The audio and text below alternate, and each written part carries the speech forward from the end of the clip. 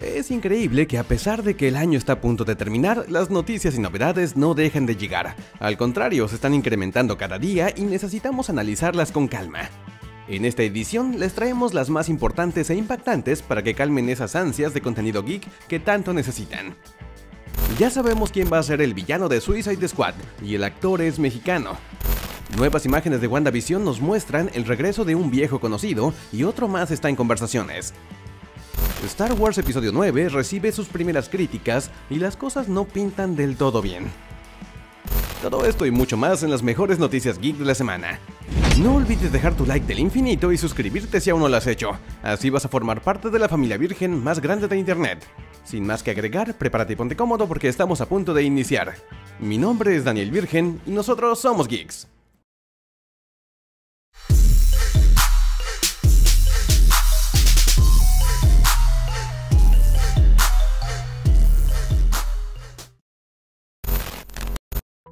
Ya conocemos al villano de Suicide Squad.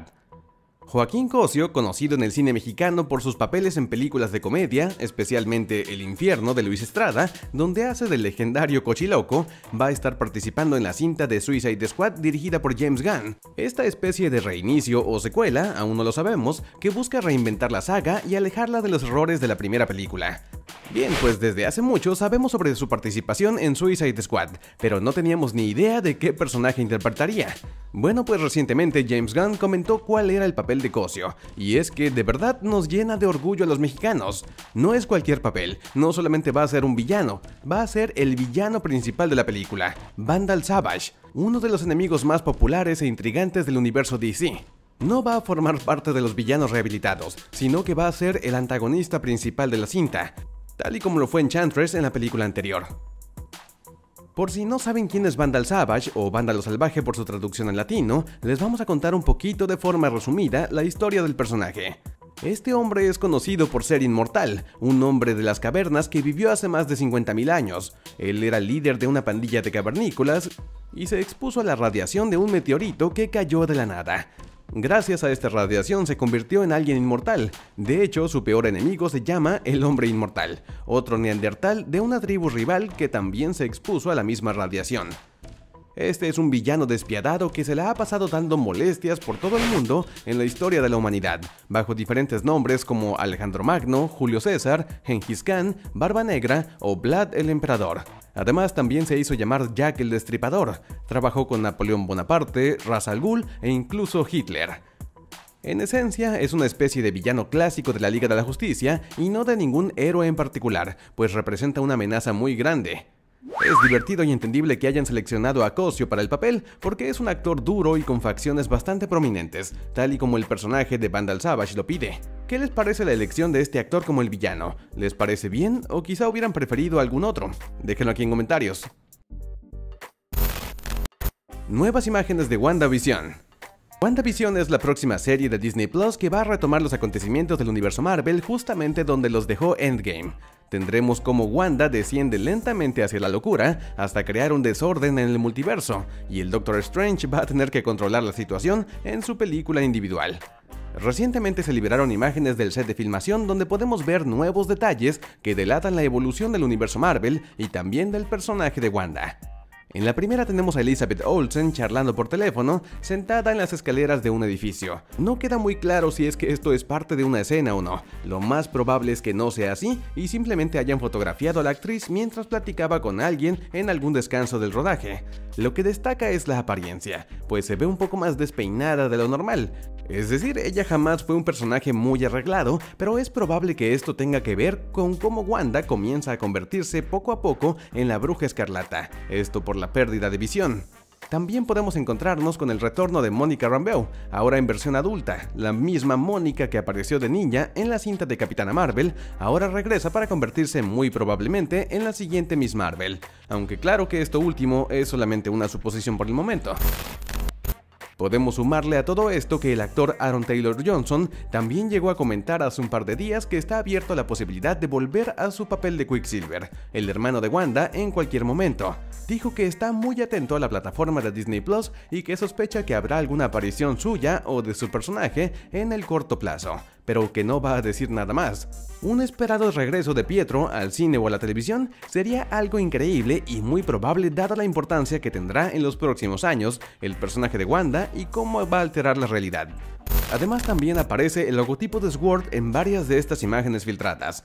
SWORD, como sabemos, es la división de SHIELD que maneja las amenazas espaciales, por lo que estamos seguros vamos a encontrarnos con una expansión del universo Marvel bastante completa. Manténganse atentos al canal porque vamos a seguir actualizando con más información sobre WandaVision en estos próximos días. Nuevas imágenes de Falcon and the Winter Soldier.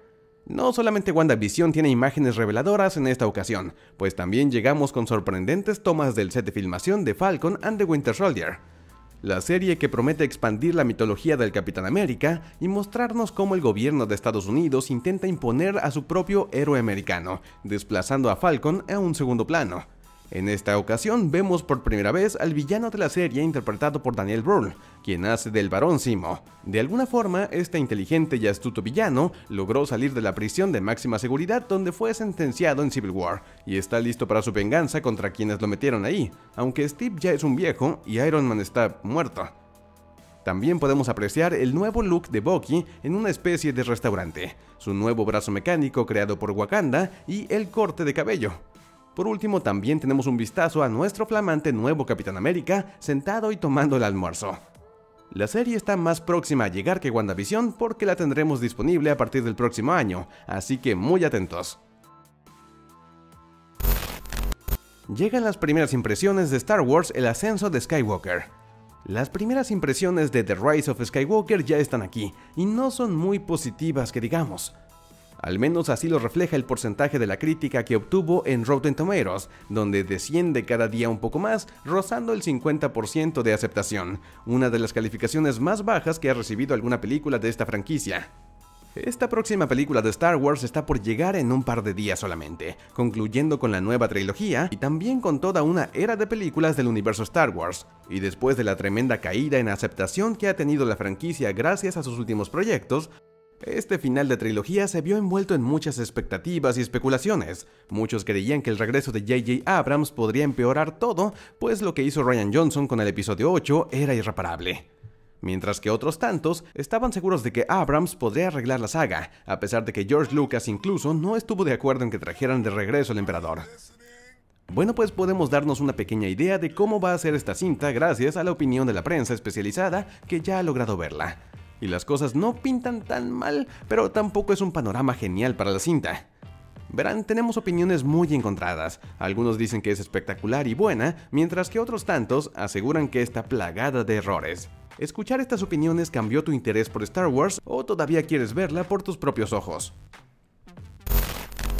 Llegó el primer teaser de A Quiet Place 2, la película de A Quiet Place del director y actor John Krasinski acaparó muchísima atención el año pasado, por su propuesta innovadora y una ejecución refrescante. Muchos fanáticos de la entrega de suspenso estuvimos a la expectativa de la llegada de una probable secuela, y por fin tenemos un primer vistazo. Aquí te dejamos un fragmento.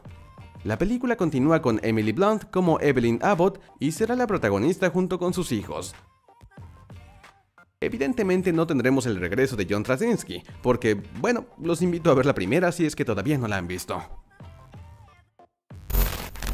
Interrumpimos este video para dar un comunicado especial navideño.